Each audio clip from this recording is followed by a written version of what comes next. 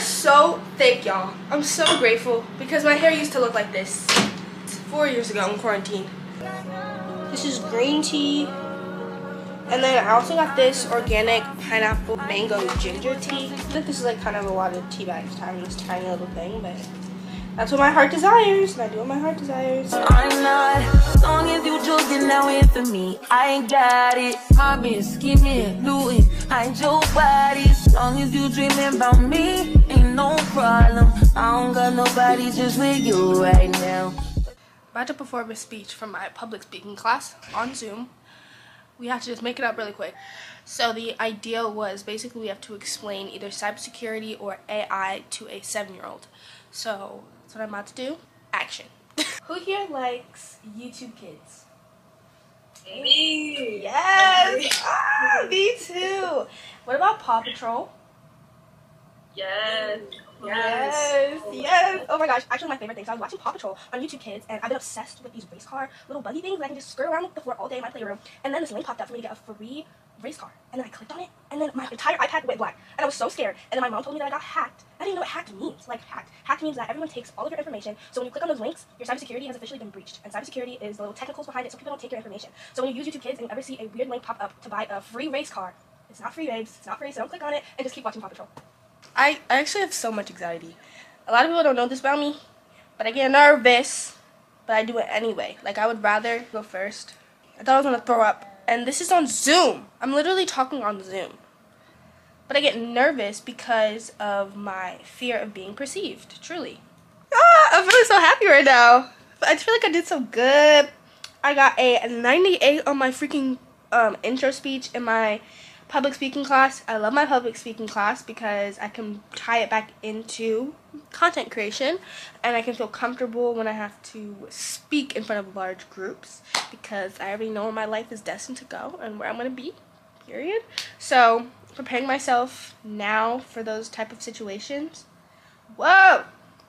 So excited! Right now, oh! I'm about to have a three hour class, y'all, on Zoom. And this class is kind of dreadful it's like a lot of the stuff is relevant. It's a law class.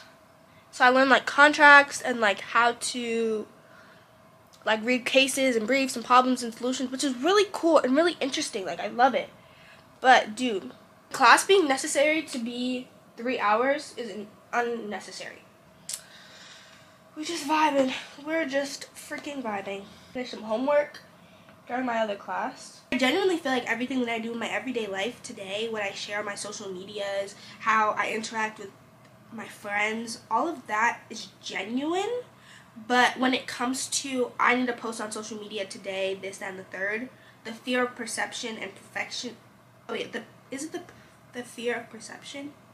I'm not sure. Please correct me if I'm incorrect. But the fear of perception and my inner perfectionist fight each other. Honestly, they tag team and then jump me. I swear. I swear. It's in my brain. so, like, an example is say I want to post a TikTok, right? Or I want to post a YouTube video, like today. I get so stuck in the this needs to be perfect. I watched a million videos on social media because I'm literally obsessed with it, but I took the knowledge that I'm learning through those from those videos and like fully backfired on myself. And now every single time that I'm filming a day in the life, I film it exactly the same and in this exact order that these people are telling me to do on YouTube.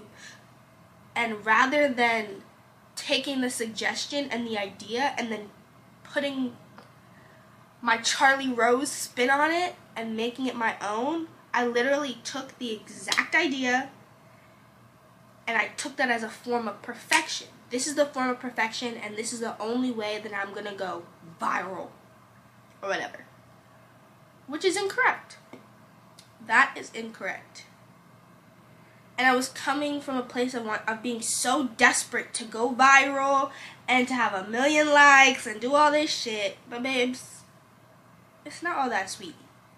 So at the end of the day, I'm just conquering my fear of being perceived and perfection by filming this video. Camera's dead. and I have a three hour class. So I'll see you after. It's been three hours. It's been three hours. Oh my god. Woo. My body hurts and things. So I'm about to go outside, go to head to the grocery store. I'm gonna get my bags ready so I can go back to college. Like almost every weekend I'm coming home. So it looks like I'm like moving back in They're like uh, I be coming in with my bags, like I just moved out. But I just combed out my hair and I'm just like I'm gonna just wear her like this today. Let's get ready. Let's look cute. The better you look, the better you feel. Look at it, mama, man. Look at it. That ain't my, that ain't my, that ain't my girl. That's my nigga. Catch me out on Ocean Drive with her. Hey. Catch me in the whip, ride with her. Hey, sipping something, bumping big, hypnotized with her. Pray you get that job in. Okay, this is literally my outfit to go to the store, so let's go. But it has cabbage, pears, pineapples, parsley, mitten, ginger root, fire. And then pairing that with some pineapples. Yeah, maybe like sea scallops. Hmm. I love the kombucha section. It's so colorful over here. Is that you smell yerba? Yerba tea is actually so good. I had it at a thrift to death event, and I really enjoyed it, honestly. I don't think I need it today because I already got a drink. That's my problem. I just keep buying. Is there anything else I want to make or buy? Let me get out of here. It's such good lighting right now. Right here. And I feel so grateful as, well, Siri, no one's talking to me. I'm feel so grateful as to, about just how comfortable I am with my hair and how I'm able to just walk around, not give a fuck, because I used to care a lot. So I'm just grateful to be where I'm at right now in life, because what?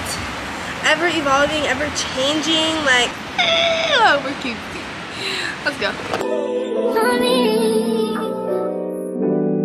Lazy and broke. Know we get this money, so I guess I can't complain.